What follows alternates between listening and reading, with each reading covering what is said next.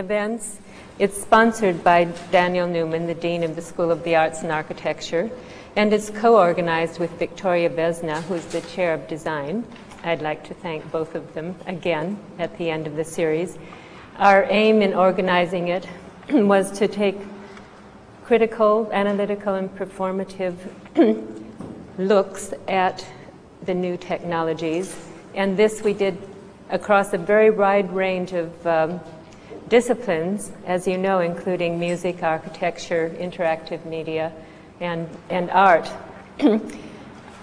Our speaker this evening, Constance Penley, is a film theorist and a cultural critic whose current projects involve sexuality, science, media, and art in American culture. She's the author of The Future of an Illusion, Film, Feminism, and Psychoanalysis. This was a very important publication right at the end of the 80s. And more recently, NASA slash Trek, Popular Science and Sex in America 1997 is one I'm sure most of you are familiar with. In this, she investigates the role of fantasy in the depiction of space travel and advocates that scientific experimentation be accompanied by an exploration of social and psychic norms. She also has edited and co-edited several very influential collections, including Feminism and Film Theory, uh, another Close Encounters, Film, Feminism, and Science Fiction in 91, and also the, the well-known Technoculture. Uh, two others, Male Trouble in the early 90s and The Visible Woman, Imaging Technologies, Gender, and Science, which was just published in 1998. In her previous lives, and still, she is um, a founding member of the journal Camera Obscura, uh, you may have noted that uh, I think a couple years ago, Rolling Stone dubbed her one of the eight most dangerous professors in the US. and she did tell me a story about how the chancellor of UC Santa Barbara threatened to nominate her as a humanities professor to be one of the NASA astronaut corps. Luckily for us, she's still on Earth. So please welcome Constance Penley.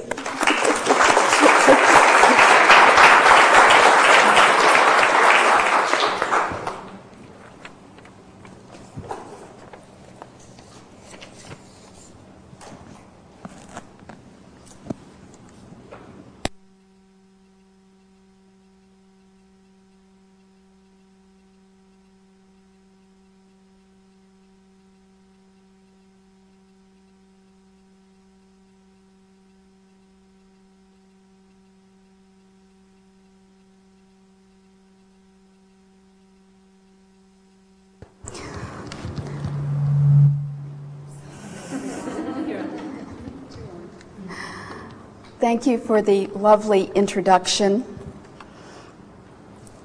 When I'm going to be speaking today about a project that was very much a large collaborative project and that uh, continues uh, as a collaborative project in its new uh, web presence. Uh, members of the Gala Committee, I'll be telling you more about that, and the Gala Web Committee are here today.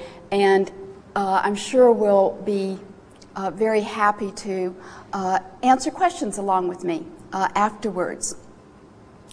I'm going to talk about the project and then go to the launch of our new website. We're using the occasion today for the launch of the website for this project. Uh, when Mary first told me the topic for the Dematerialized Utopia Symposium series uh, that uh, the series was going to feature critical, analytical, and performative approaches to art and technology. She asked me, Do you have anything that would fit in this? Surely you must have something. Uh, and I said, I have just the project for you. Now, most of you in the audience have probably already heard something about the project that involved a large number of artists infiltrating the set of Aaron Spelling's primetime soap opera, Melrose Place. Following Michel de Certeau's injunction to tell theory as a story. I'm going to tell you the full story of that project, and in doing so, reveal, I hope, all of the ways in which the project precisely exemplified a critical, analytical, and performative approach to art and technology. To locate myself as a storyteller here, I should let you know that I'm telling this story as a member of the very large gala committee that eventually comprised nearly 100 artists, students, writers, television crew members, cast members, and producers. To further locate myself, I should also tell you that uh, even though every member of the gala committee, no matter what you did, you were interpellated as an artist, uh, I was the only member uh, who was also a media scholar. So the theory that I'm telling as a story will emphasize how the project was, yes, a big old art project, but also for me, a media lab for testing all sorts of possibilities uh, about media democratization and globalization. So, art project and media lab. Here's the story.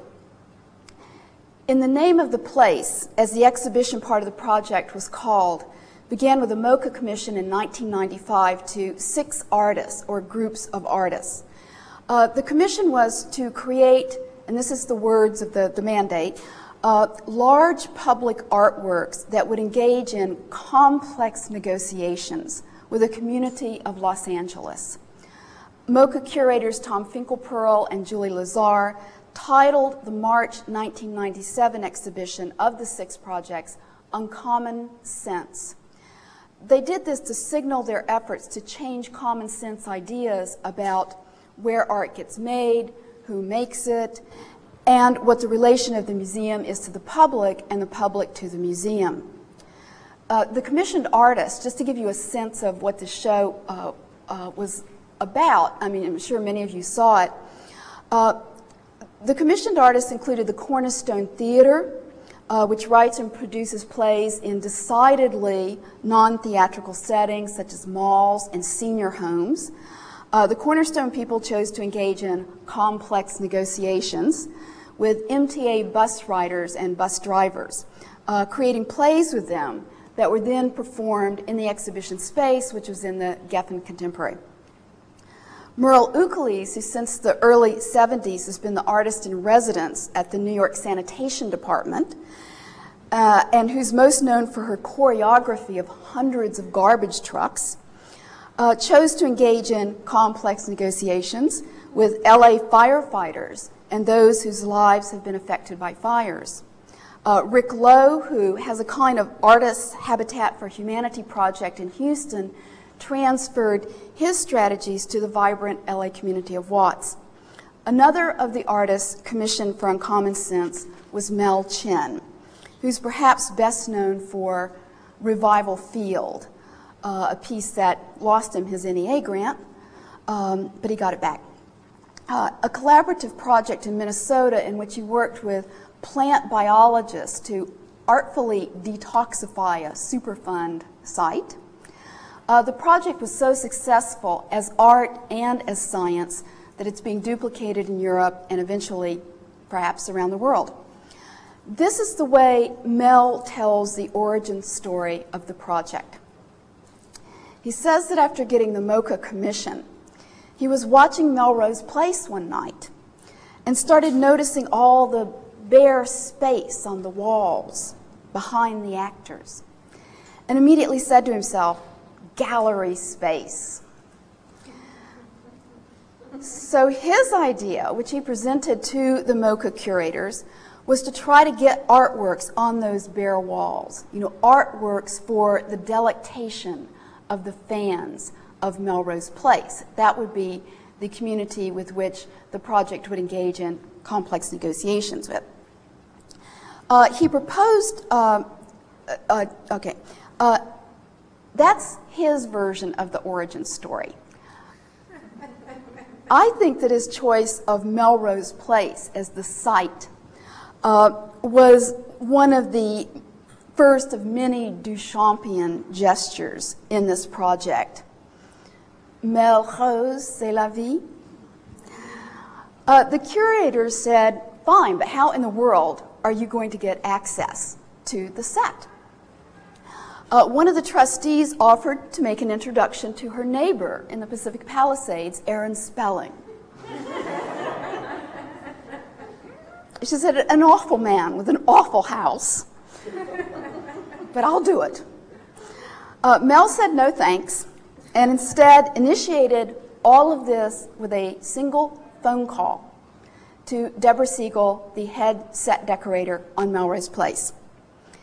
Deborah said, Free art? You want to give me free art? And that's where it began. In just a moment, I'll show you the first successful insertion into the show, but first I want to tell you a little more about how the Gala Committee came together and about our strategies. Uh, Mel right away began to assemble the team. Most of the Gala uh, committee members came from Cal Arts, where he'd just been teaching, and the University of Georgia Art Department, where he had just gone to take up a three year endowed chair. So that's where the name Gala came from, for Georgia and LA. Uh, as the project moved along, uh, we picked up other outriders from Houston, Kansas City, and New York, among others. I should say that as the project went along, uh, Mel tried over and over again to withdraw his name uh, from the head of the project. Uh, he wanted to be a member of the Gala Committee and as always uh, described it as um, uh, the Gala Committee project initiated by Mel Chin. But I can tell you that every curator, every critic, you know, everyone wanted this to be a Mel Chin project. Which uh, he resisted, uh, often unsuccessfully. Uh, as for our strategies, one of our main working metaphors was that of viral infection. We wanted to be good viruses, infecting Melrose Place and causing only good mutations, nice growths, uh, beneficial transformations. We were not of one mind, however, and there were some of us who uh, their working viral metaphor was more of the flesh eating parasitic kind. In any case, uh, Melrose Place was an ailing host, having fallen quite a bit in the ratings, so it had little immunity to our infection. Another of our strategies, as you'll see, was to try to cross the bandwidths of art and television as much as possible we weren't just interested in creating more beautiful props for this television show, but to try to use art to transform television and television to transform art. Uh, I'm now going to show you our first successful gala product insertion, as we call them. Uh, Deborah Siegel, the headset decorator, said we're going to be shooting a bedroom scene with Dr. Peter Burns and his latest love uh, why don't you do something with the bed linens? Uh, so if, let's see, need the first slide. I have so many remotes here. Okay. Okay, and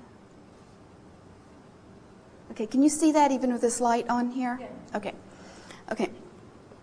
So uh, we made uh, the bed sheets, a whole, actually a whole linen set, and the beautiful serial pattern that you see on there uh, is made up of unrolled condoms. It is against FCC regulations to show unrolled condoms on television. Okay, uh, if we could now have the first video clip, and I'll show you how this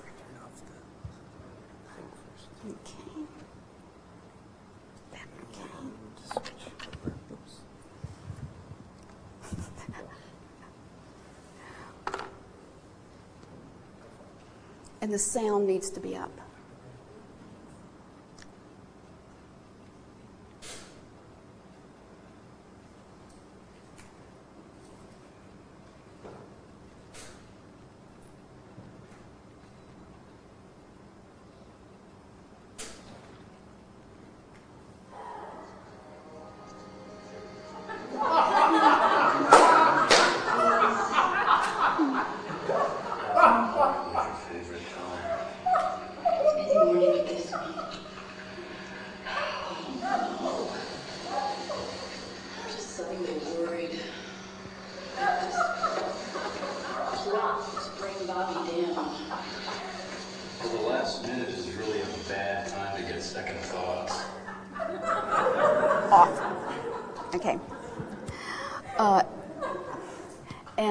Then we need to go back to the slides for quite a while. Okay. Okay. Okay. Um, this product insertion, uh, as you just saw, appeared prominently uh, on the television screen. But with pieces that came after this, we began running into problems uh, because the only person we were working with at that time was the set decorator. We would put a lot of effort into a piece and then it simply wouldn't get on camera. Uh, the cinematographer could pass over it, the director could plant an actor in front of the piece, blocking the view, or it could just get lost on the cutting room floor.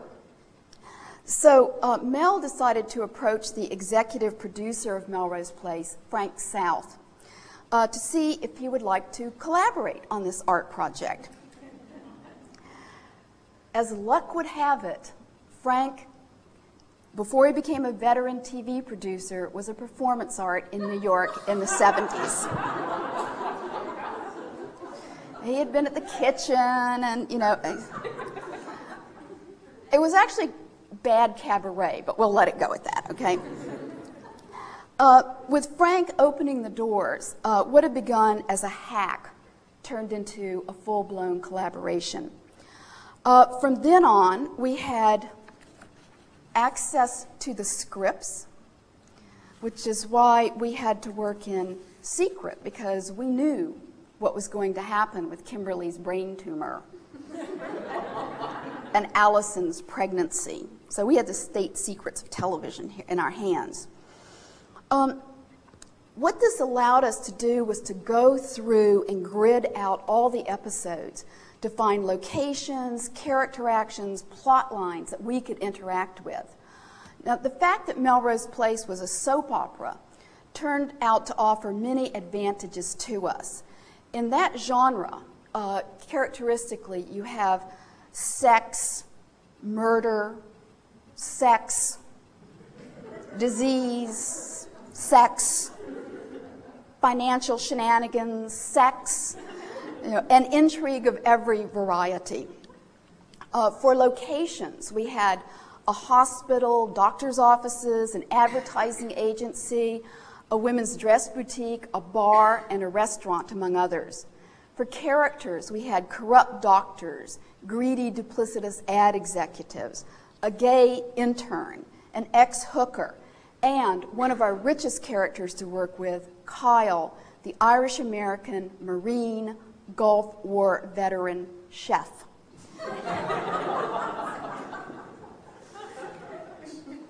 and we were given our own character, Samantha Riley, a young artist who's just moved from the Maryland shore to Los Angeles. Now, it was just uh, before this point, we're now getting into the late spring of 96, that Mel called me to see if I wanted to join the project. I'd never met him in my life, but it took only 30 seconds of his explaining the project to me that I said, I get it, I'm in. All of the work that I've done on fan culture, television fan culture, had introduced me to the strength of fans' desires to rewrite popular television shows in their fan fiction to make them more answerable to their social and sexual desires. I realized that Mel was describing a perfect opportunity to get into the show and remake it from the inside. My first gala task was to join a subgroup of the gala committee called the Sisters of Sam. About 15 of us were flown to Kansas City for a meeting at Grand Arts, which is one of the sponsors of our project, uh, to meet with Carol Mendelsohn, the head writer and one of the co executive producers of Melrose Place. Our job was to brainstorm the character of Samantha, create her art, and also help Carol and the other writers come up with various kinds of art world intrigue for Sam to get snared in. We, of course, wanted her to be a Barbara Kruger, a Sherrie Levine, a Cindy Sherman, a Jenny Holzer, a Kiki Smith, a Mary Kelly. But no, she had to be a painter. We were po- told that painting is the only kind of art that can be read as art on television.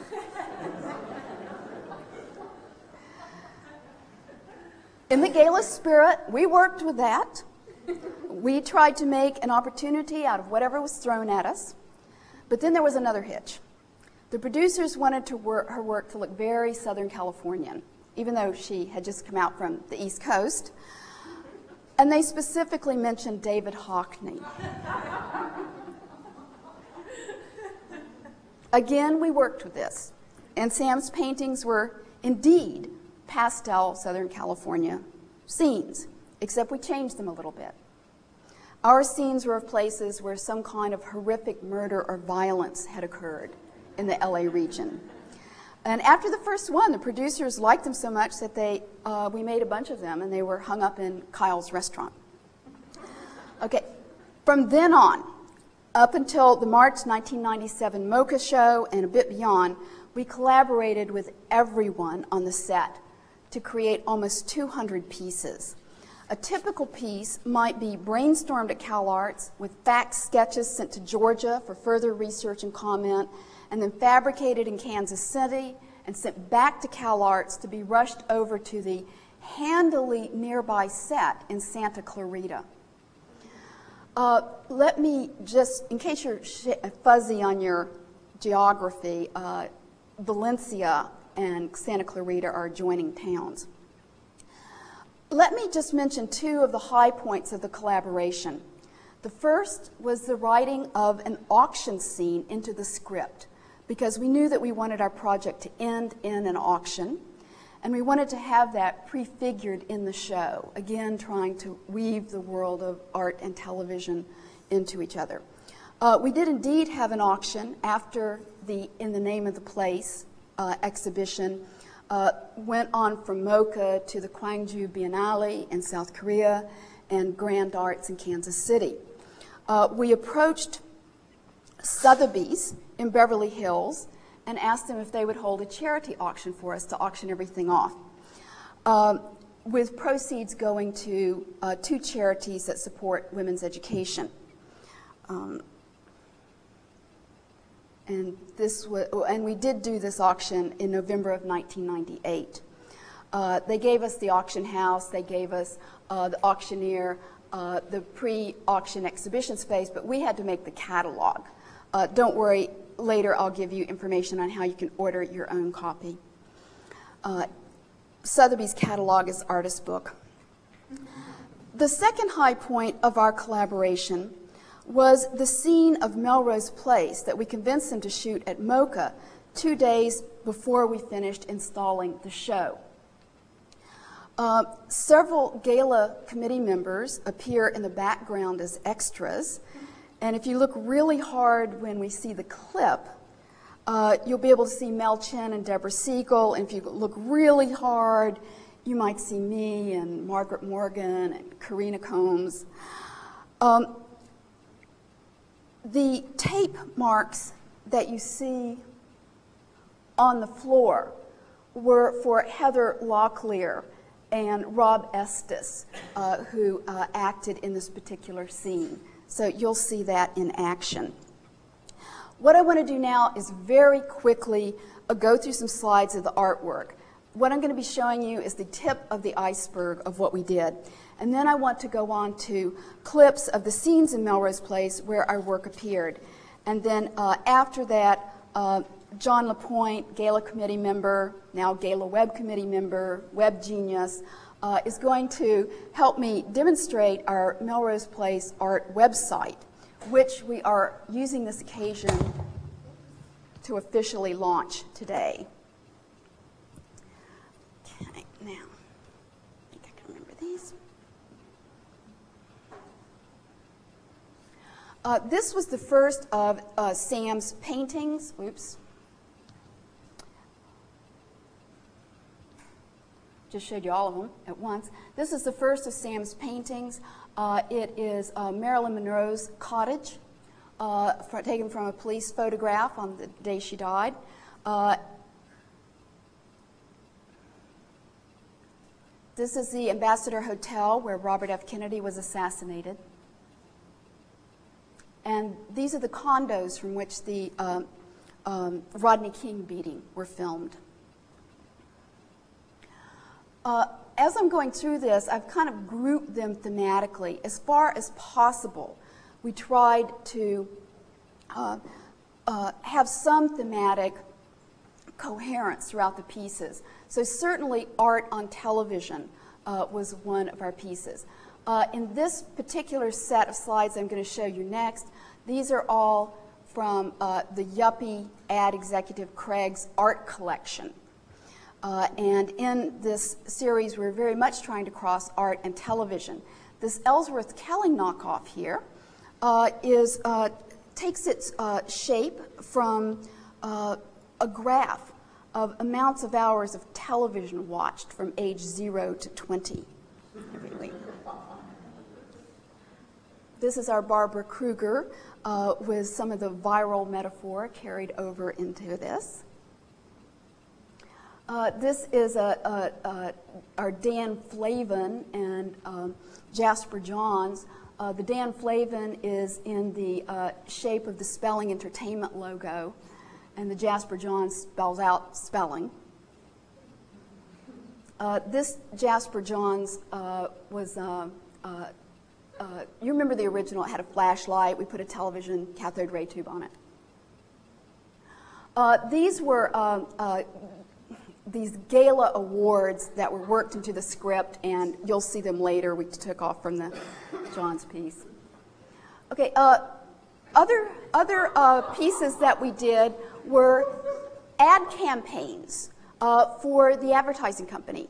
Uh, this particular ad campaign is called is Billy's Family Values ad campaign, for which he wins the gala award, uh, and uh, all of these all of the texts are taken from uh, titles by books from the uh, Council on Contemporary Families, which is a group of progressive social scientists who set up a think tank in Washington to uh, do research on what families are really like.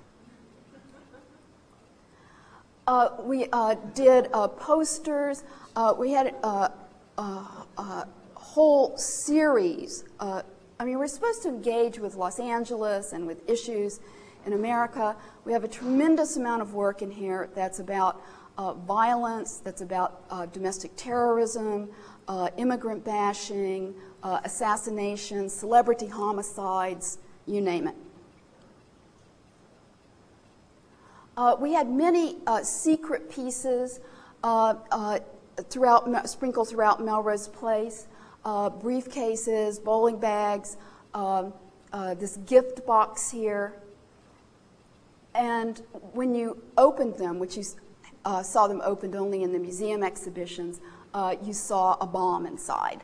Uh, in this case, uh, the Olympic Park bomb, which we now know is probably also the bomb for the abortion clinic and gay nightclub in Atlanta.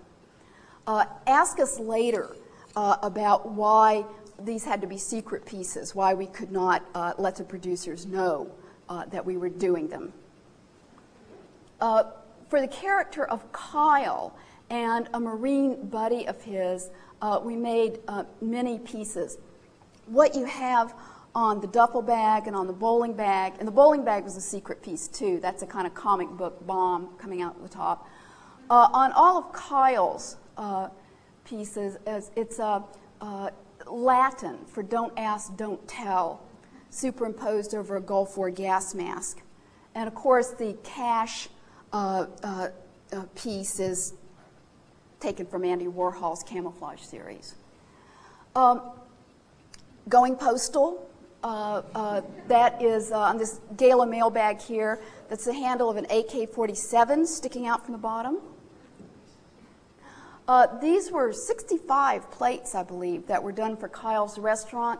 Uh, they show the fault lines running through Los Angeles, both the natural and social fault lines.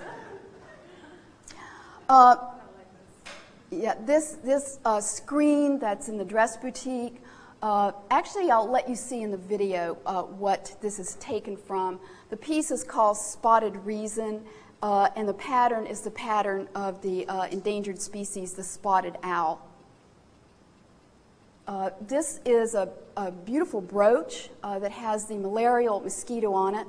We did many pieces about um, public health problems around the world. This piece refers to the rise of and reemergence of all kinds of diseases such as malaria, tuberculosis, because of uh, environmental devastation and poverty. Oops, went the wrong way. Okay. Uh, this is a heavy metal T-shirt, uh, which uh, has the uh, same malarial mosquito uh, on it. You'll see how we use that. Uh, this, uh, the pattern on the pillow here is the HIV virus. Uh, this quilt, uh, the lovely pattern is the chemical formula for RU486, the abortion drug that is still uh, not manufactured here in the United States. Uh, we made many, many pieces for the character Megan, uh, the ex hooker. Uh, we had a chance uh, toward the end of our project to decorate uh, an entire beach house with pieces for Megan, all having to do with uh, the history and politics of sex work, prostitution. These particular ears were taken from a 19th century study, physiognomy study of uh, prostitutes trying to figure out was it perhaps the configuration of the ears, you know, that determined that they would be prostitutes. You know, we have genetics now for that. You know. Uh, and these are Megan's family portraits up in the beach house, and they're taken from another series of studies of prostitutes' physiognomy. Uh, uh, we had uh, quite a few fertility and uh, uh, uh, ancient symbols relating to female sexuality in the beach house. We have this Barbie mask. Um, okay, then we had a series of international pieces. we know that Melrose Place is right up there with Baywatch. You know, it's going to be circulating around this planet for years to come. It's currently showing, even though it's been canceled here, in over 60 countries. So we wanted to make pieces that would allow us to uh, communicate uh, with people in other countries. Uh, this particular, so the characters are always getting takeout, you know, so we did the takeout bags, the takeout boxes, and the ideograms on them uh, are for uh, human rights and turmoil which is the euphemism for the events of Tiananmen Square. Uh, those ideograms are not allowed to be drawn in uh, mainland China now. Uh, and there's also some other ideograms for um, the environmental movement uh, in China. So the idea was when, you know, these get beamed down to China on Rupert Murdoch's satellites, you know, the censors are going to be looking to see whether people are having sex or kissing or something. They're not going to be looking at the takeout bags. Uh, this is um, a, a, cigar box. Uh, the bronze hinges are in the shape of gunboats, you know, for continuing gunboat diplomacy toward Cuba. Uh, I don't have a slide of the largest installation piece that we did, uh, the shooter's bar. Uh, I took this page from the catalog. The, this was used in many, many scenes, as you will see. Uh, the entire piece is about the history and politics of alcohol and alcohol consumption in America. Uh, the bottom uh, row of glasses and pitchers, which the actors knew never to touch because it was part of the artwork, uh, is literally a bar graph, you know, and its levels of alcohol uh, consumption. The second shelf is the history of alcohol in America and I think I have a close up here. Uh, this bottom shelf here is uh, this is well, this is all temperance. You know, this is everything from our early temperance posters to Mothers Against Drunk Driving. Uh, so the uh, labels all show that. Okay. Now we get to see uh, how we inserted these into Melrose Place. And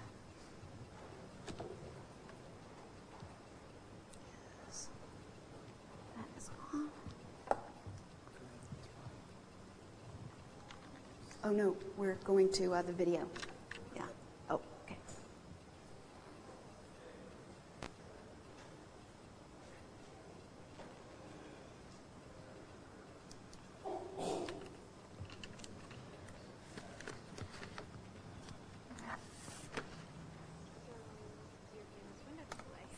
Sound, please.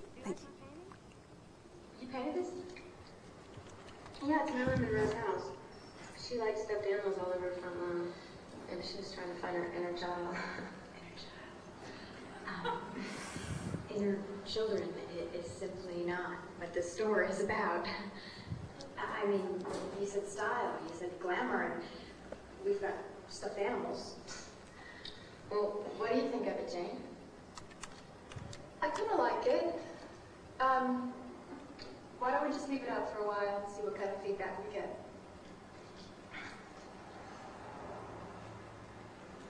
Start the bidding at two thousand dollars. I have two thousand dollars, and I bid three. The numbers on the auction paddles are Marilyn Monroe's measurements. Four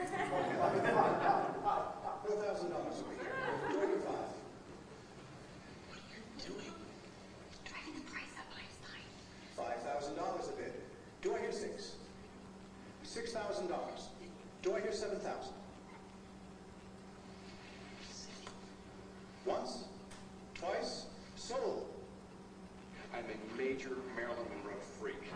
I saw that painting in the auction catalog with the explanation that that house depicted in it was Marilyn's. So I sent Walter to buy it. And he decided that 7000 was too much to spend for an unknown. I- I'll, I'll tell you what, uh, Mr. Gallivan. Seeing as it is Christmas and all, I'll let you have the painting for six thousand. Walter's last bid. I'll give you seven. Well, that was what? All right, 75 then. Well, no, you don't understand. See, I,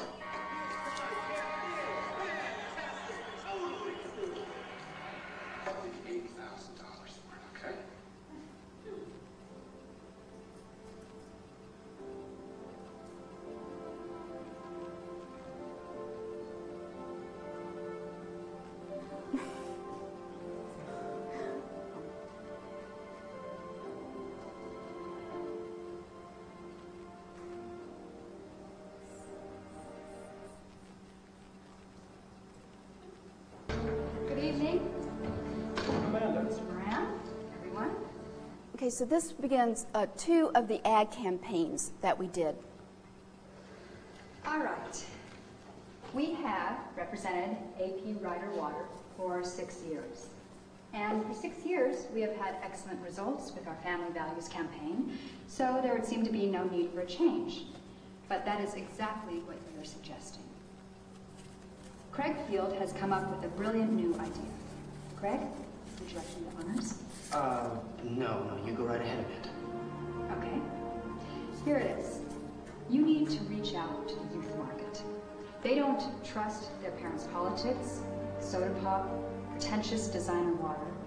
They want a product that respects their intelligence. Be traditional. Be original. AP Ryder Water, the cool new alternative beverage. Old-fashioned label. It's in the water.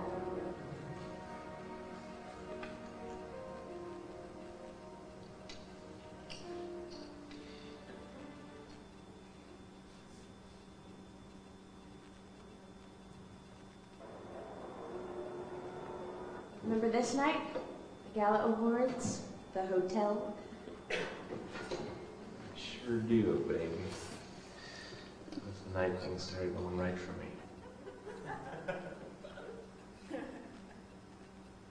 It wasn't for me, it was against him. So that you could climb higher.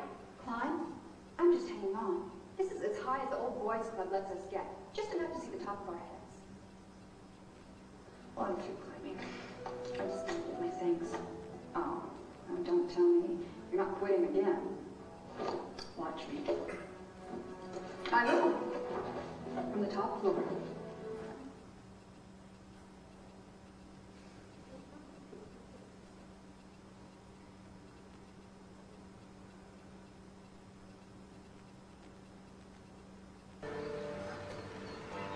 Excuse me.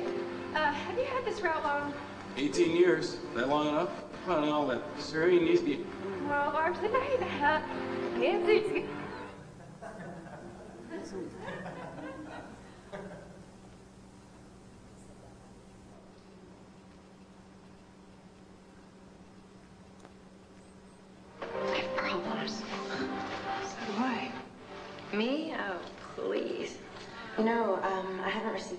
Paycheck yet.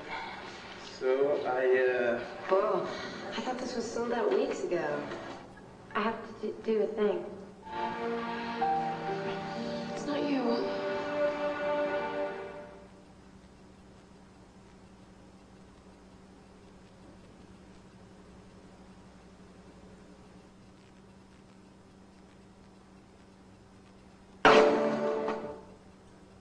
Do either of you have a safety pin? What?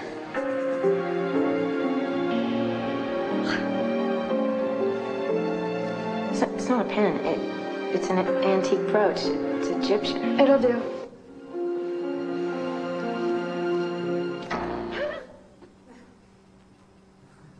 It's really dead.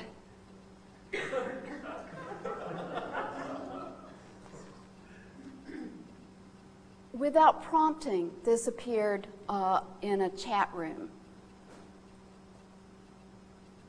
People having suspicions about this brooch. So we decided to bring Richard back from the dead.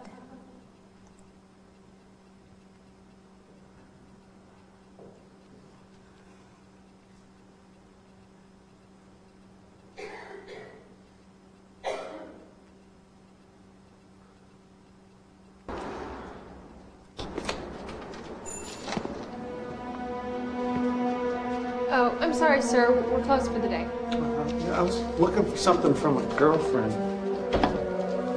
Like maybe a couple of these soaps. Sorry, really, sir. We are closed for the day. You can come back tomorrow, though. I'm here right now.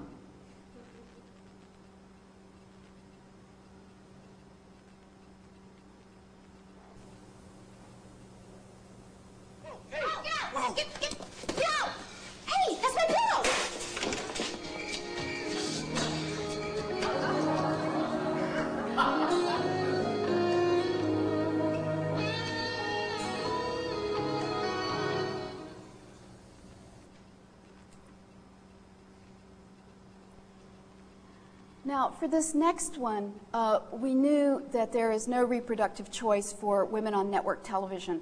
Uh, no matter how powerful you might be, whether you are Roseanne or Murphy Brown, you can talk about having an abortion, uh, but you can't have one uh, out of fear of uh, uh, religious pressure on advertisers. So we decided to insert a speech about reproductive choice back into television.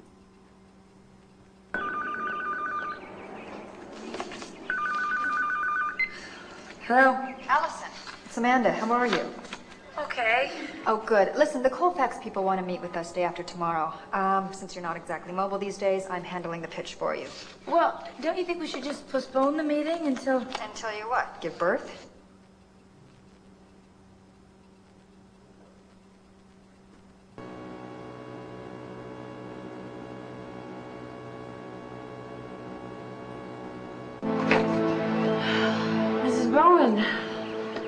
Doing here? Well, I'm certainly not looking for a quickie. Excuse me? I've read all about you and your occupation in the newspapers. You have 24 hours to vacate the premises. Look, you can't throw me out, okay? I have a lease. So call the cops. Tell them your landlord won't rent to hookers.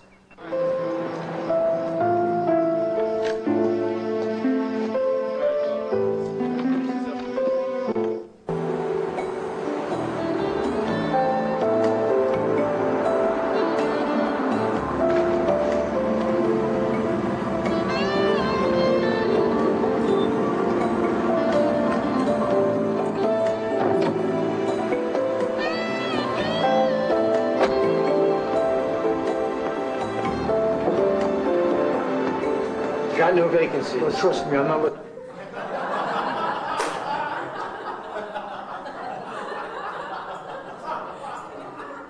This, this motel clerk uh, where Megan uh, is hiding out was supposed to be holding a copy of the Celestine Pros- Pro- Prophecy, so we gave him Lyotard's book instead.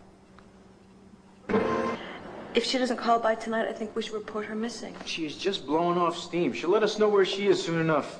Michael? Calm down, Jennifer, okay? He didn't... Okay, I don't have a slide of this painting which which appeared in countless scenes at the beach house. Uh, this is a coyote painting uh, to make reference to uh, Coyote, the prostitutes union.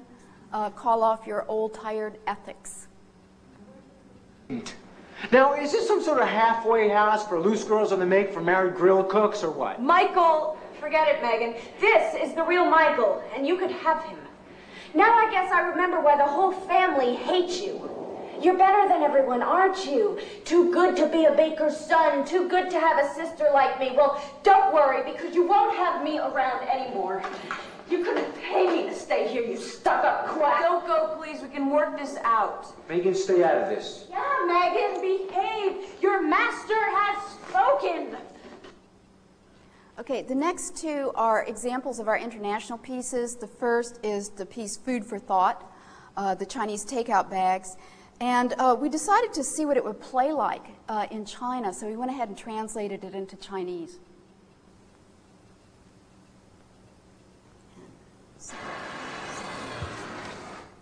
你见到 Michael 了吗？今晚上没有。我给他买了饭，都快凉了，到处找不着他。 我都糊涂了，他可能在家呢。Kimberly，你没事吧？我没事，抱歉打扰你了。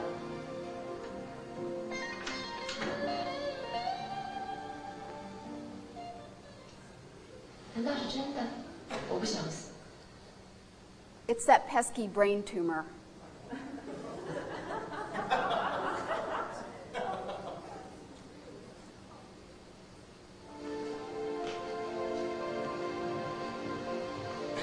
想吃点吗？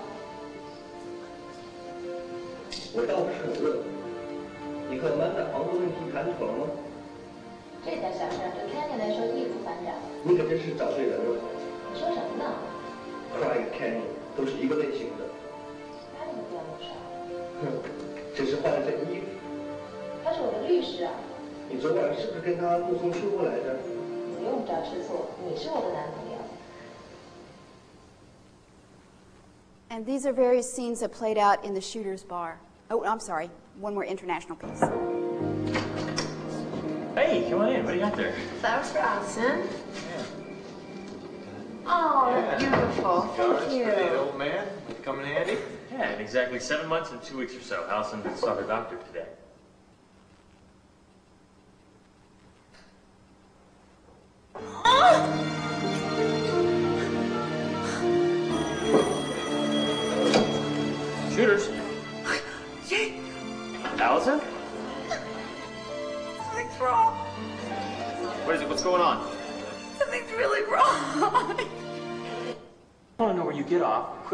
Quitting on me giving me any notice.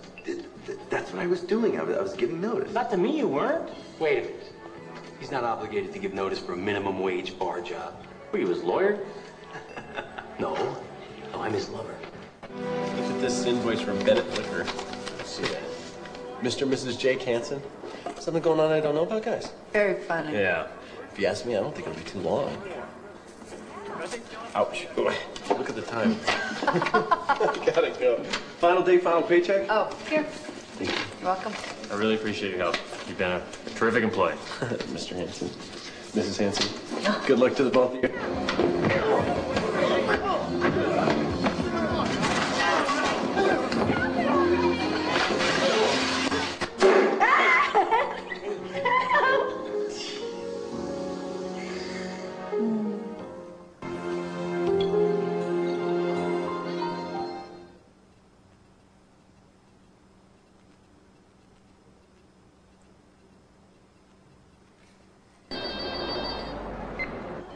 Kyle's.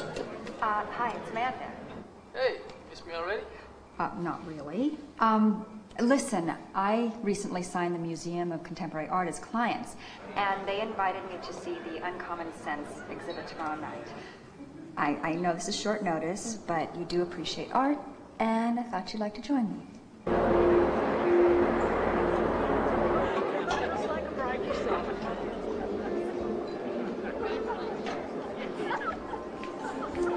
I. No, no problem. I'm digging this exhibit. Got some phenomenal pieces. Fireflies. Looks like a bunch of dots to me. More like firefight. Yeah, tracers, explosions. It's bombing a bombing of Baghdad. I guess you saw it close up. What do you think it means? I think it's about a man's journey through war, memory. I think it's about killing what that does to a person. And it makes its mark. Deep, you know? We didn't write that. So anyway, what is this man all about? Do you represent all these artists? Well, actually, I represent the entire museum. But yes, that includes each exhibit. Stop coming to places like these because I get a little bit jealous. I mean, art, that's what it's all about, not, not cooking, not what I do. Oh, cooking can be an art. No, the restaurant business is about serving people what they want. That's not art. That, you know, what you do, those cool ad layouts, that's artistic. Small A. Really small A. Still, it puts it in perspective. I like that. You know, I wanted to major in art. Ah. It wasn't practical. I'm proud to say that by the end of our project, almost every character on Melrose Place had confessed to at least minoring in art. Uh, what we'd like to do now is show you the most recent phase of this project because we realized that it couldn't continue to um, exist and have its effects and be read and played with and extended uh, unless we had a presence on the web.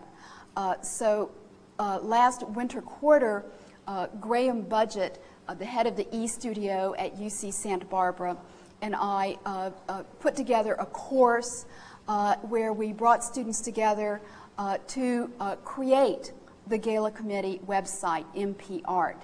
And I'd now like to turn things over to John LaPointe, uh, uh, one of the uh, geniuses behind this web project. Now, one of the things that's really beautiful about this project is that well, it's kind of a drawback. It's made my presentation completely redundant because now you will be able to go to it and see, uh, yeah, we're going to go to the go to the computer now. Uh, and, and be able to see this project for yourself, interact with it, comment on it.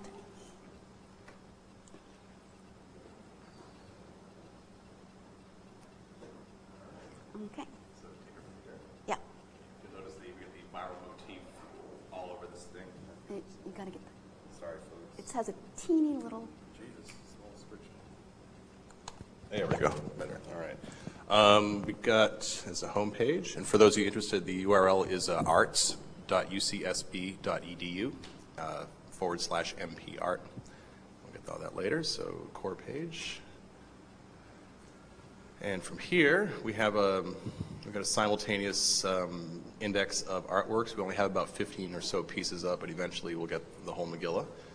Uh, let's see what we got here. You can go to pieces, and you get a basic breakdown, exploded view, all the information you need for your cataloging purposes. And let's see what else we got here. Uh, go to the quilt. You all remember that, right? And we also have a little quick times. Sounds a little low, but you get the whole experience basically on one site here. And you can also go back, let's see. Thanks. Well, don't you think we should just postpone the meeting until... Until you what? Give birth? And for you real fans of the show, you can click over and see the episodes. We have a complete guide of all the episodes that all the gala pieces occurred in, synopses, um, director, writer, and also a full catalog of over here, a, the uh, pieces themselves. What else we got? Got an About Gala section, some stuff from the catalog. We have a lovely essay from here from Constance that she wrote about uh, projecting 25 years into the future to see the impact of the project. And um, Oh, that's go to it. In the News. Oh, in the news, that's right. Back to artworks. So Uh, one of the features that we added to the web page to really keep it current and update, every single piece we did, from the Cuban cigars to the RU-46 quilt to everything about the environment, domestic terrorism, is completely current now. Uh, and so we have updated here uh, in the news, and it is uh, stories uh, on the issues uh, represented by that piece. And we're actually looking for a program right now that will update the news stories for us uh, automatically every week. And for example, when we did uh, the very first news items for safety sheets, the condom sheets, turned out that it was National Condom Week that week. So everything just stays amazingly topical. Mhm. Basically, Okay. what else we got here? You know, the whole behind the scenes section. These would be actually the, oh, this, this is a good thing to show. Oh, yes, we should talk about Eliza. Right. Uh, as I mentioned, we had to work in secret uh, all up until uh, March of 97 when the Uncommon Sense show opened. That's because we had the scripts. Uh, we wanted to try to find some way, though, to alert people to the fact that something was going on on Melrose Place, and maybe they should look extra close at things in the background. So we created uh, a fictional uh, Melrose Place fan who uh, uh, notices uh, in she's home, she's got the flu, she's watching her favorite show, and she starts noticing that there are very odd things happening on Melrose Place. She thinks the producers have gotten bored and have started uh, putting things on, so she's getting video grabs like of those weird sheets. Did you see those weird sheets? Uh, unfortunately, we didn't get as many hits on this as we would have liked. Probably one of our biggest failures on the project was that we could link to the official Melrose Place website, but the official Melrose Place website would not link to us. We could have gotten quite a bit of traffic that way.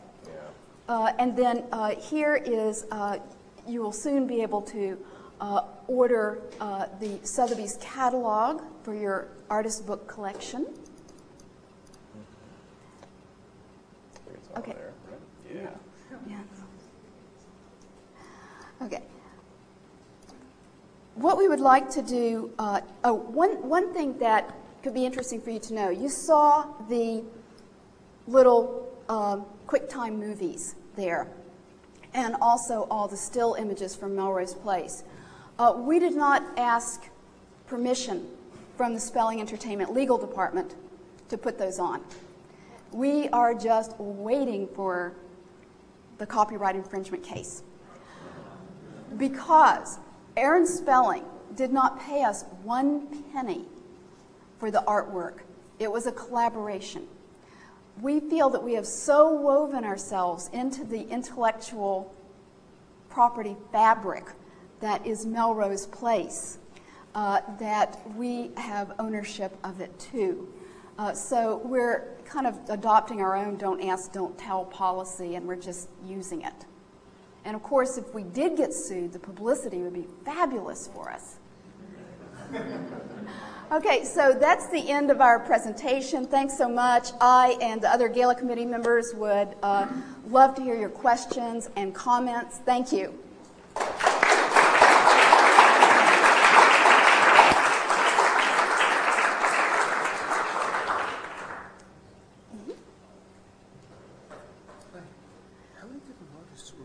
I think we're all going to chat among ourselves here. Okay.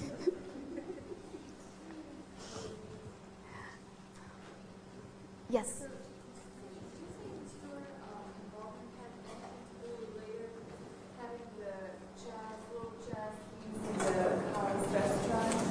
Did figure out in that um, collaboration in any way? And musicians, that was one. Do you know if the, uh, let's say, Diana Krall was uh, featured in one episode and some other jazz artists? Do you think that maybe you influenced the development, or did you have anything direct to do with that? Uh, no, we had nothing to do with the guest musicians who were on. Um, those were just about the only people who appeared uh, on the show, who worked on the show that we did nothing with. Would have been a nice idea, though. Yeah, I mean, Yeah. well, maybe you could influence them in some way to run for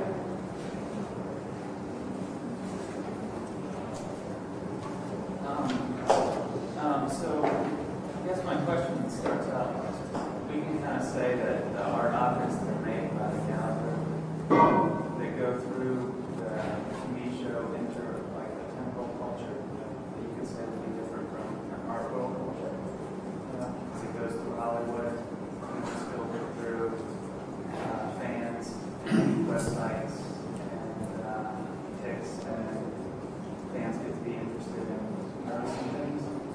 And um, I'm wondering is that sort of? I mean, you, you talked about how it's sort of viral, but um, benign, or, or you say it's sort of a, a good way. It's not it's not a negative uh, infiltration or something like that. And I'm I'm wondering where the uh, I'm wondering. I guess I'm wondering what what the artist practice is. Is it um, is it a go-between or is uh, what what exactly is the artist practice with, with that? And because it's entering such a different culture, I guess. Yeah, there's a, a lot of questions within your one question, uh, which is which was, you know, if you didn't hear, what kind of artist practice is this? Because it goes certainly beyond the museum uh, and out onto the internet. Uh, the artist practices that were involved in this project uh, go from um,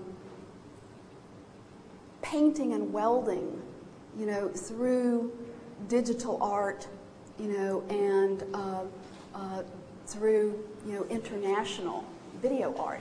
You know, so in other words, you know, what we just used whatever artistic medium we needed to accomplish what we wanted to accomplish. So there's a real range and eclecticism in the kinds of art making practices that are here. But I think, at least implicitly in this project, is the understanding that if we want to be able to uh, make uh, art uh, that's going to uh, get us out of the usual places for seeing art, uh, we're going to have to really think this through. I mean, for example, going back to uh, my interest as a media scholar in this project, two of the things that uh, very much um, uh, concern us are uh, how do we get uh, art video and activist video seen outside of small dark rooms and galleries or university classrooms? You know, so in a way, what we've done here is make a big old art video. You know, just kind of turned Melrose Place into our big old internationally circulating on millions of television sets art video. Another thing uh, that media scholars are concerned about is public television. You know, how do you get publicness? How do you get civicness, the public sphere, into uh, a world of television that in this country is entirely dominated by private interests, and in other countries uh, by a combination of the state and private interests. So, how do we create truly public television? Well, one of the ways perhaps is to try to do something like what we did, which is to piggyback on to private corporate television and create a public space uh, to be able to talk to other artists and be able to talk to other people uh, around the world, which of course will be facilitated by everybody now being able to go to the website, find out about the project, uh, communicate to us about the project, borrow all these ideas and in their own national contexts, you know, perhaps do other kinds of projects. Yes? In a way, haven't you sort of created, like Bill Gates did, uh, the original operating system?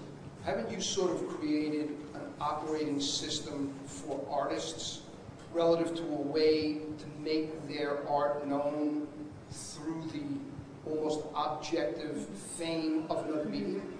Almost as if by saying, in effect, I'm giving you a review in the New York Times, intellectually speaking. It, there's a balance there. Times is a paper reaches 2 million people, this reaches 12. Wouldn't it be interesting if you created critical analysis that would be appropriate for art news or art in America to actually analyze the meaning of the art against the context, to just create almost a movement? Well, I'm deeply flattered that we've been compared to Bill Gates. and we will not be split I mean, up. I- I'm a media person, so I- Yeah, I'm looking yeah. at this as a system, and you've tapped into something that, from the background that I come from, it's, you know, like a hundred million dollar media project. I'd never seen anyone do anything like that before. I mean, it's just one of the most unique things I've ever seen. I mean, I- and I, you notice you did all of this and Aaron never knew? How could Until- we, Until it was over. how could we have planned it? No, no, no, no. I, I, I'm not- that, no, that's what I'm saying. You're absolutely, know? you're absolutely Did right. know? We didn't know how far it was going to go. Well, wait a minute, Yeah. but just, just Yeah. if you roll that tape back a Yeah. bit, if you didn't know that you were gonna get the rolled, unrolled condoms in a love scene, waking up in the morning, you didn't know that? Oh, no, we were, we knew that. We were hoping that it would That- get in the scene. Can you imagine if Jay Leno would have known about that that night? Yeah. What he would have done, it it got by the whole world. Yeah. I mean, so, Yeah. it, it, it, can you, has anyone ever done anything like this before? Mm, I Not- mean, do you know? Well, we, we felt that we had uh, some predecessors, you know, from, uh, uh, you know, guerrilla attacks on local television stations, uh, the Barbie Liberation Organization, uh, Act, Act Up, uh, you know, in, all, in other words, these projects that were extremely savvy about how to piggyback onto the existing media, the existing corporate media, and somehow get your work out, get your message out. They was doing it as guerrillas, you were a member of the team, except no one else knew it. Yeah, that that's one of the most amazing parts of this story.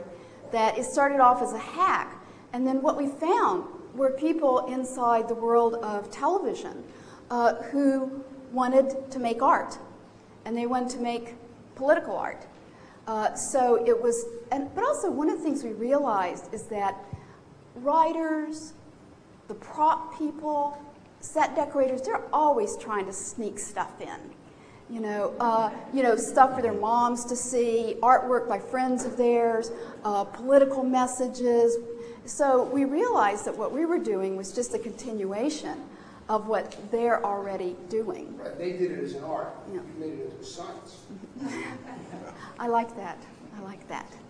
Hi, um, yes, I have a question. Uh, do you see this kind of work as serving as a model, um, sort of like a paradigm shift in, in um, kind of fusion between cultural criticism and art practice, where uh, it, it will change the way uh, both practices will um, uh, continue continue their work. Uh, for instance, in, in an academic setting, um, will there be more fusions like this, and will it even completely change each individual practice where it'll um, bring them closer together? We're hoping.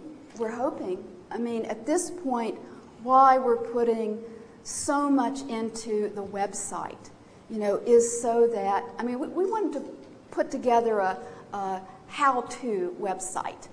You know, you want to do this, well, here's how we did it. You know, you're going to do it in a very different way, but here's how we did it. So, uh, in a way, it's also a kind of message in a bottle.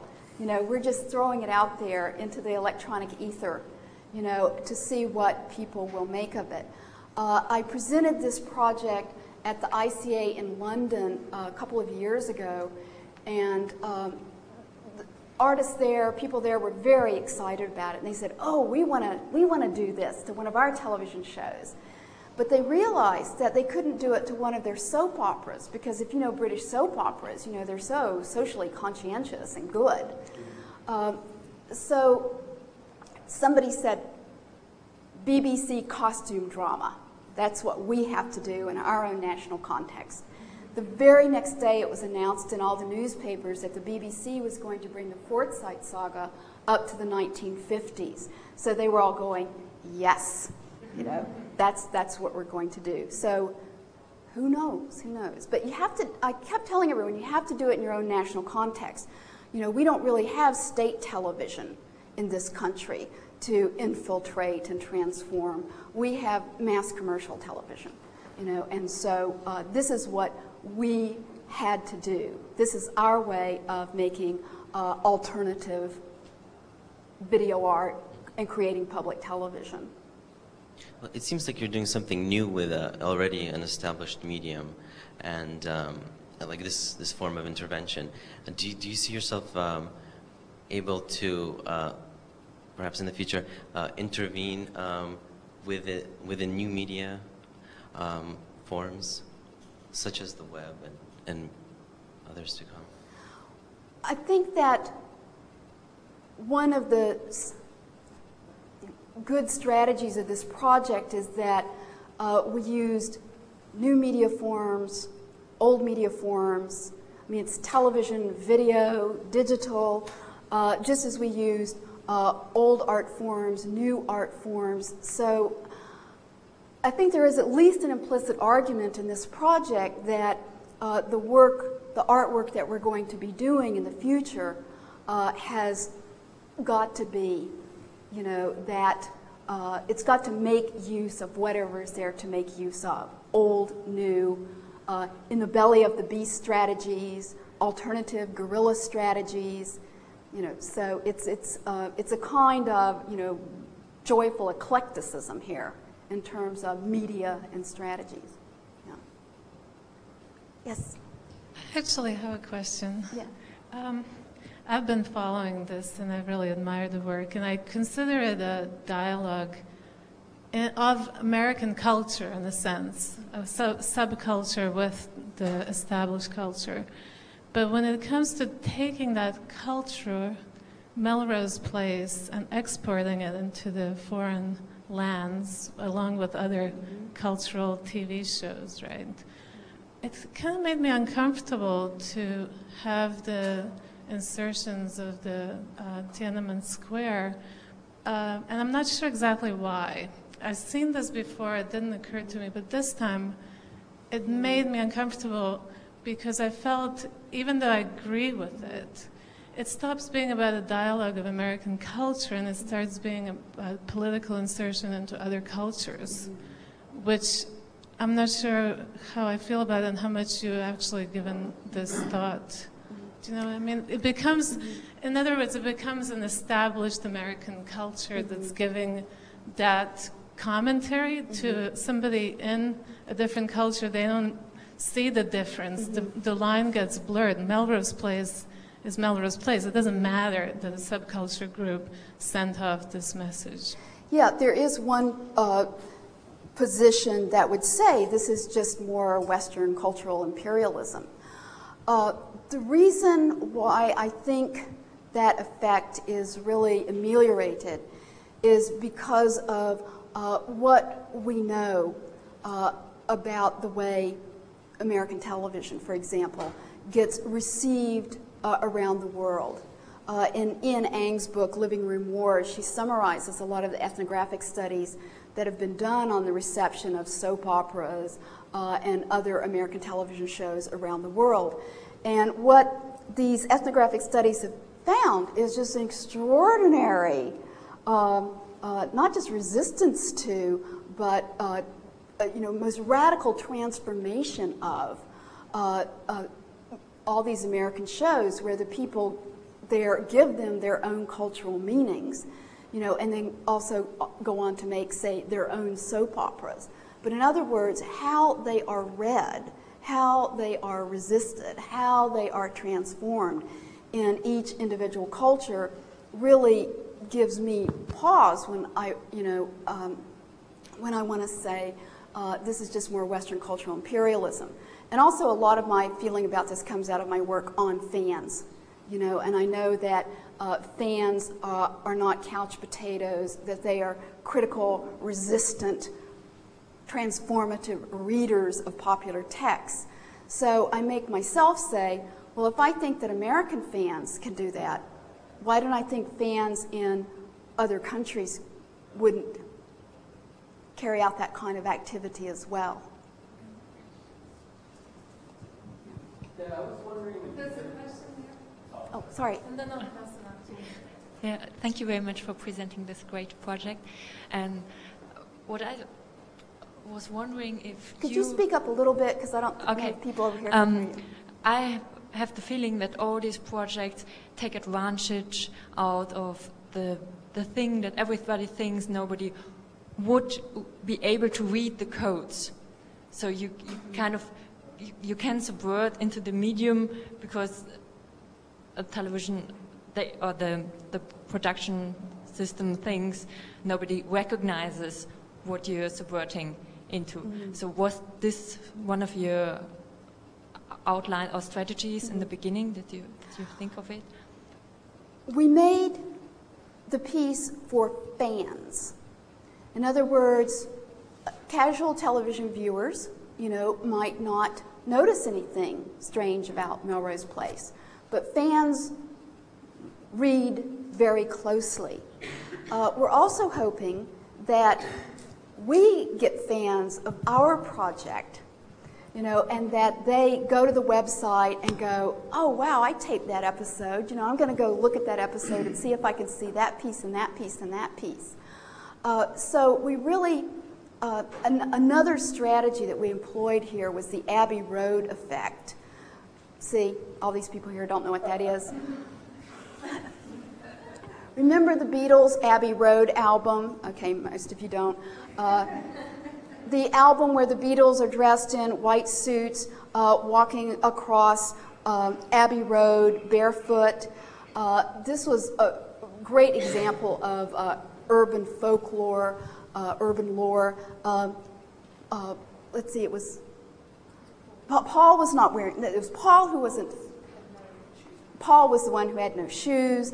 Uh, there was a uh, license plate number uh, visible on a car.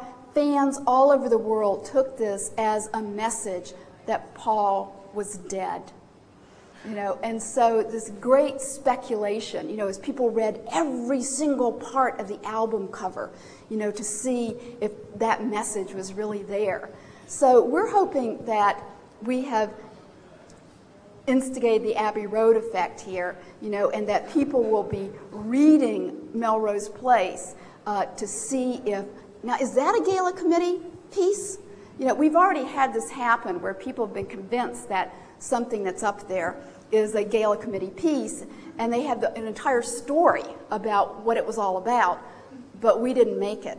It was just there on the set.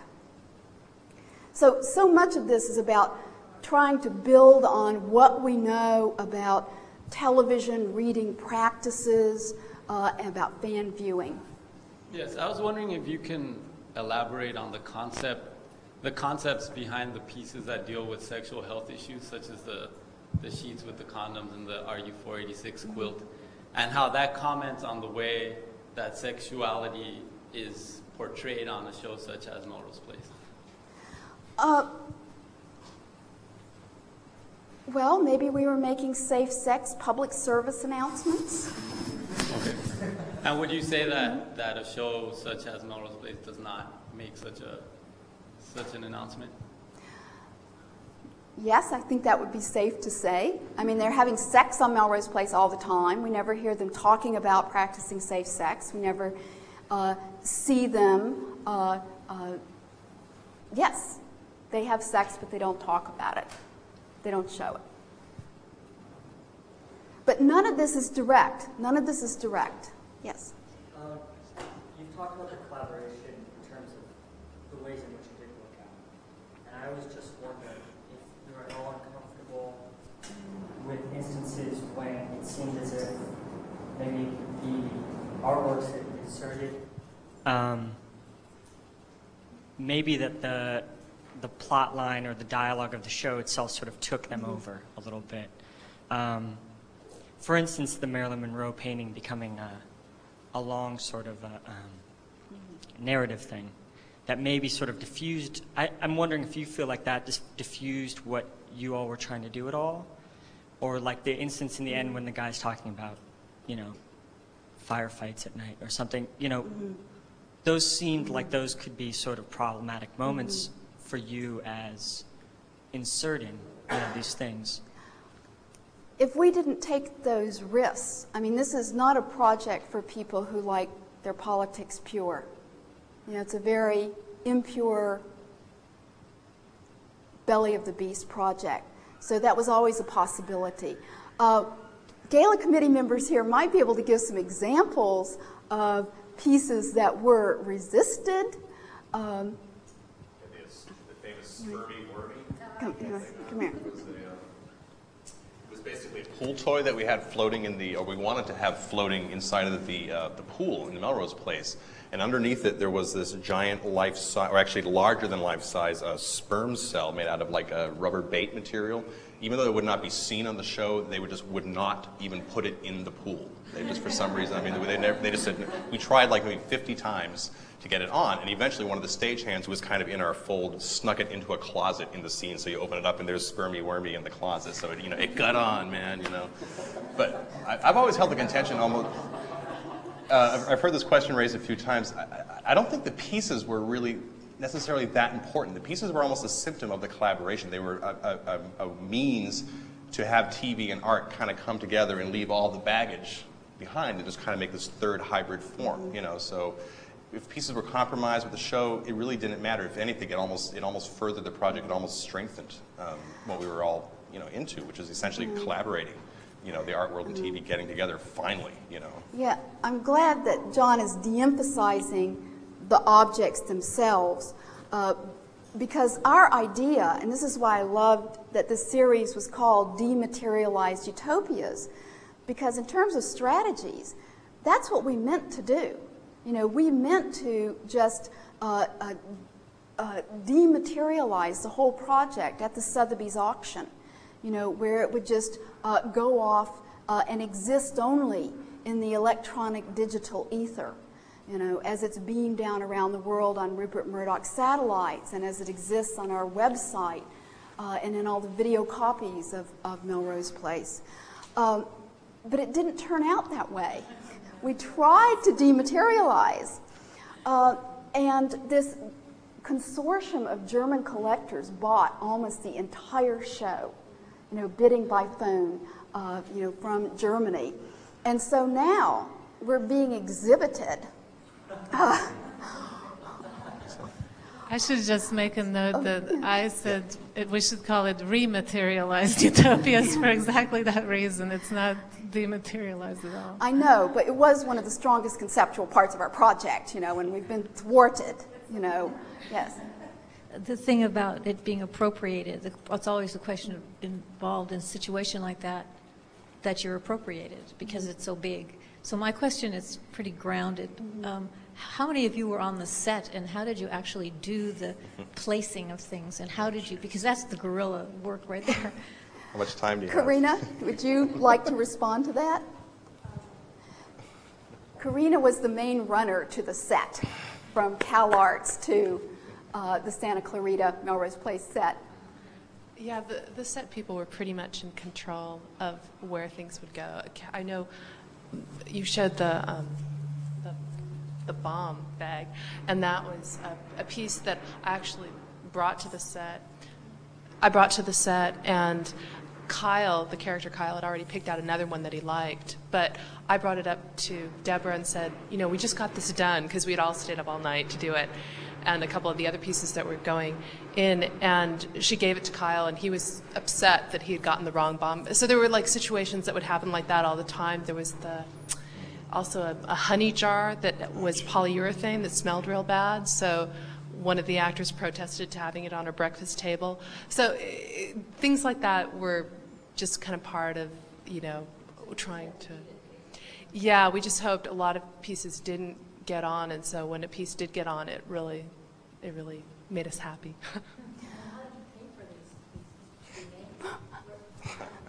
the kindness of strangers. Um, uh, there was, uh, we got support from Grand Arts in Kansas City uh, and uh, also uh, a Rockefeller grant. You know, but uh, uh, the only thing we got from Spelling Entertainment uh, to ship a big piece from Georgia to the set one time, we got their FedEx number. And I don't think we ever. They gave it to us for the duration of the project because it was a show called Savannah, which was a spelling production which was being filmed in Georgia. So they kind of finagled it and they just gave us their, their FedEx thing. So we ran up probably thirty, fifty thousand dollars worth of shipping from Georgia to Los Angeles, all on old man Aaron's nickel. So. The, the pieces that were resisted uh, that interested me the most were remember, I talked about the secret pieces, uh, the pieces that all have bombs in them. Uh, the reason they said we don't want any pieces with bombs is because in the previous season, the previous season, the cliffhanging season finale involved Kimberly blowing up the whole Melrose Place apartment house. So we wouldn't know until the start of the next season who got their contracts renewed and who didn't. Okay, so uh, they had this in the can, and the Oklahoma City bombing happened. And so, you know, the producers of Melrose Place were going, oh no, we can't put this on air now. It would be in terrible taste. Uh, so they waited a decent interval, I guess a couple weeks or something, uh, and uh, put it on. But they really didn't want people associating, you know, domestic terrorism with Melrose Place. Uh, so some of those, the bomb pieces got refused, and so we played a game of, you know, we knew that they knew that we knew that they knew, because they really wanted us to be able to do, especially Frank South and Carol Mendelsohn and Deborah Siegel, they wanted us to be able to get our pieces on. So uh, we would just we would just have them on the set. Uh, Just, uh, just to add Yeah. to that, and, um, that entire MOCA sequence that you saw, when they- they went to the museum, that was originally cut out of the episode.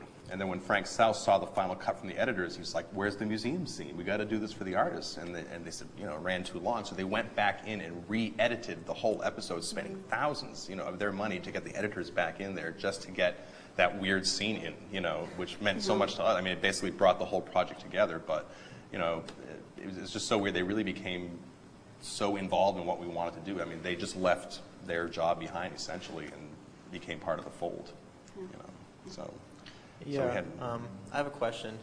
It seems that you really had a goal of getting out and letting people know about this to some extent, but it seems there's always a problem in this that if it got too big, they might shut you down in some way. If it ever got on to like Leno, like you were suggesting, that maybe that they would say, "Oh no, we can't do this anymore." What are your thoughts on that of trying to stay kind of under the cover of things? That was yes. I, think the, the simple answer is think of the reruns, which was our sort of Barbara Kruger retake, remake. You know, because while perhaps um, that kind of uh, immediate um, meta media attention to our project would could very well have shut us down. You know, think of the reruns, like the way this is now circulating is producing all sorts of uh, rereadings and, you know, of what we did as well as how that sort of registers in Melrose Place.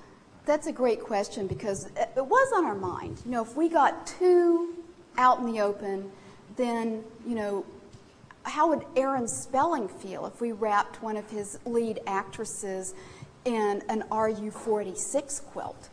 You know, um, so uh, Frank South had to ask uh, Aaron Spelling for his permission.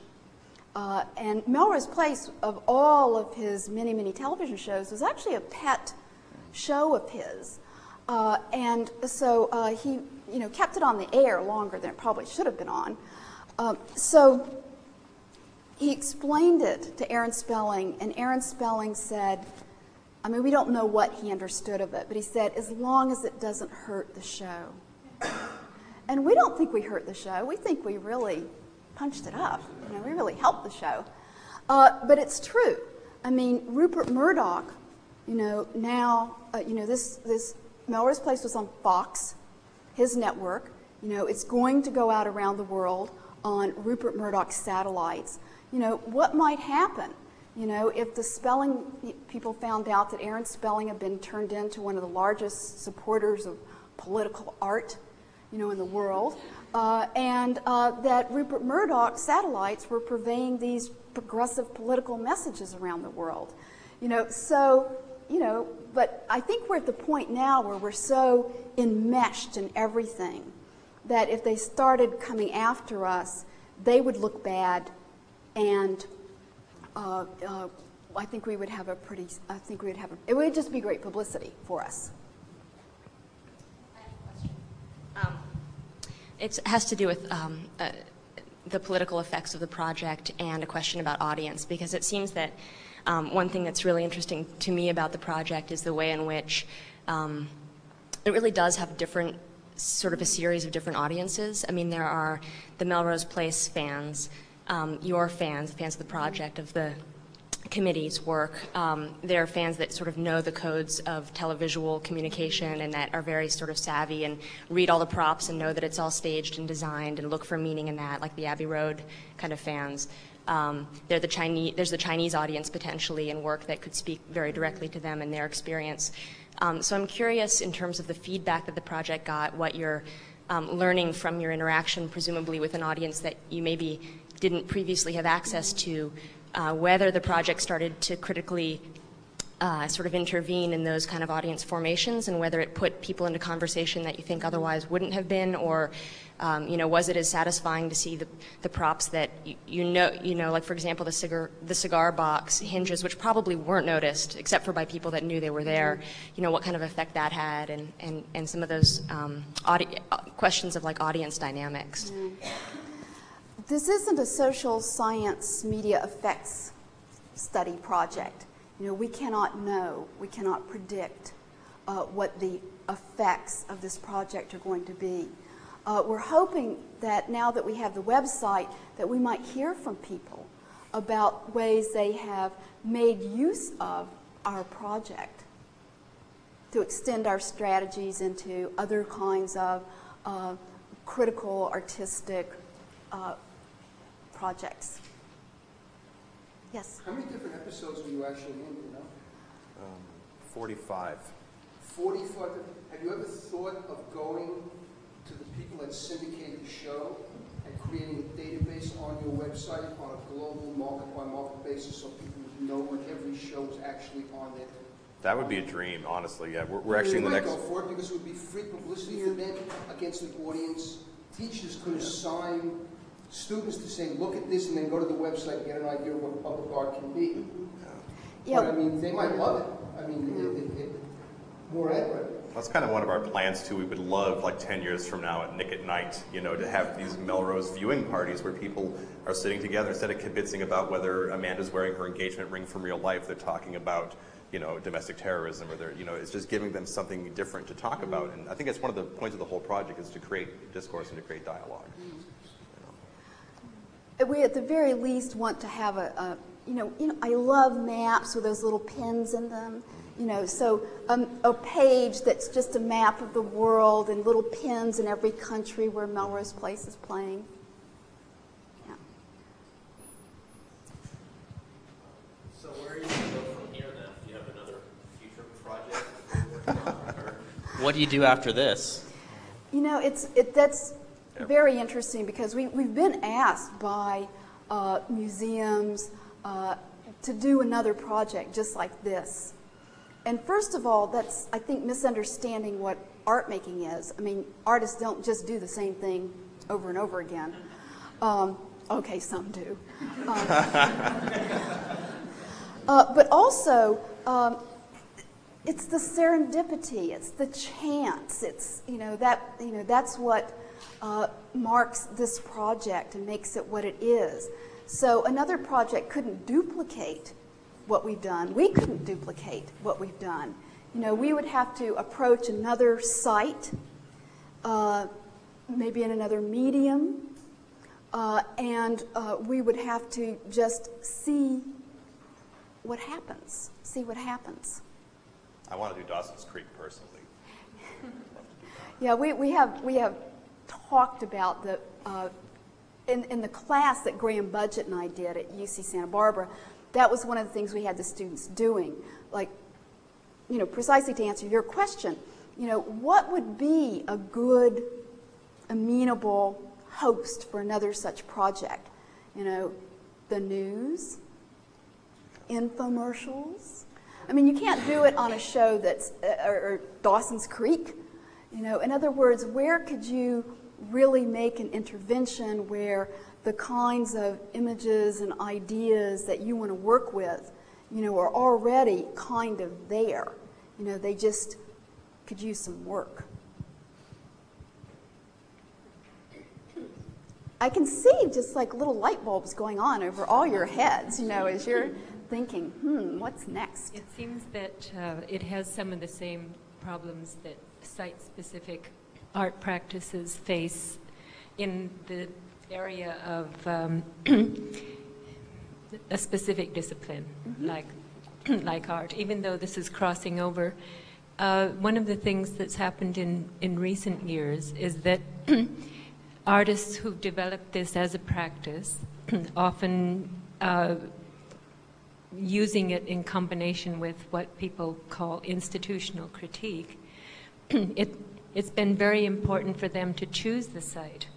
but recently, just as has happened to you, they've been asked uh, by museums and by uh, other institutions to come and do projects for them.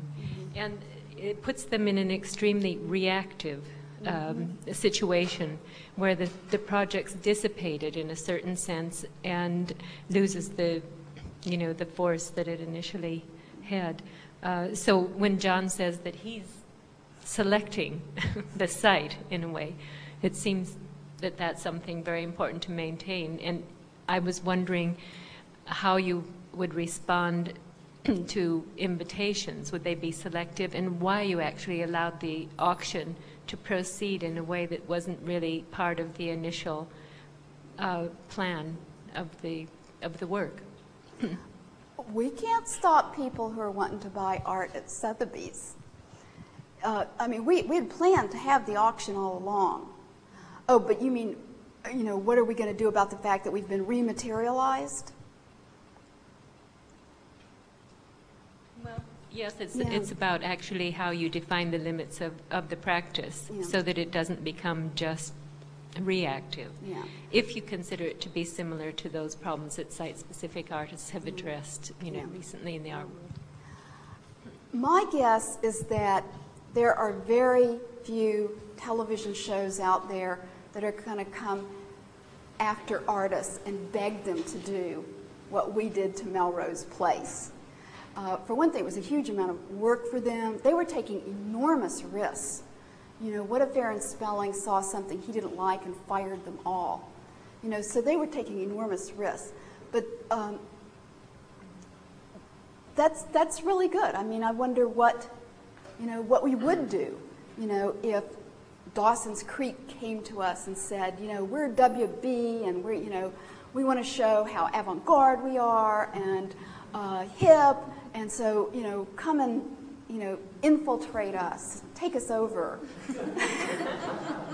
think one of the reasons this project worked uh, and why it wouldn't work again is, is the, the secrecy aspect. Um, they were involved with us for the sheer fact they were excited about the ideas and they wanted to be part of the process. If they had known or if Jay Leno had started to say, look for the condom sheets in tonight's episode, that would have changed the project from collaboration into we would essentially be creating uh, an audience for them that would basically boost Melrose's ratings and, you know, it would give fans something to look for other than, you know, I just, I just don't think it can, like, we just probably can't duplicate it. I mean, maybe some other form, some other media, radio, but like to do it again would be the same song all over again. I think.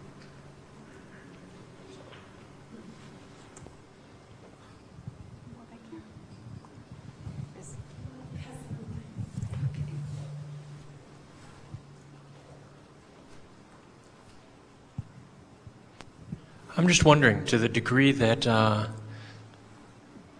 the political content of the work tends towards relatively uh, conventionally accepted left-leaning um, politics, um, and at the same time, given that that stands mostly in opposition to a pretty well-known right-wing politics that has, as a core of its sort of ideological engine, made a point of attacking what it perceives, or even building what it perceives, as a left-wing cultural elite, which is the enemy that might mobilize its political base.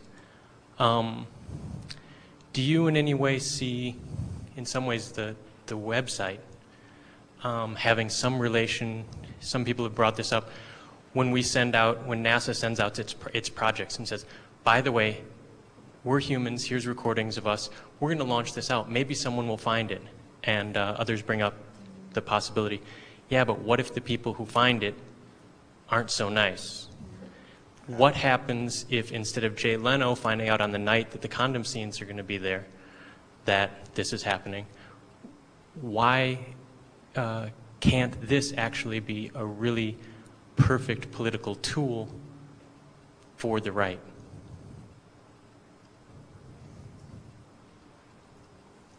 Well, it kind of, it, it, much like the viral strategy, it utilizes a lot of ideas of subliminal messages and propaganda, I guess, in a sense. But like, getting back to the idea of the benevolent virus, we're just essentially taking the inherent strategies and trying to apply them to a more productive means. So definitely, the, you know, the right wing could exploit it, but um, they've been doing it for dent for centuries. So this is the left's turn now to, I guess, get in and try to use the tools of the, uh, the big guns and, do something with it.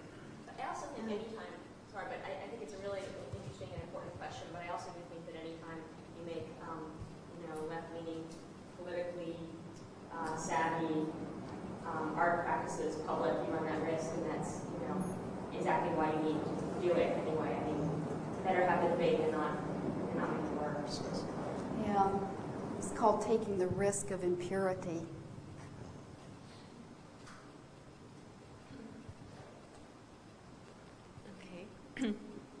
if there are no more questions, we'd like to thank you and invite everyone for a drink in the white.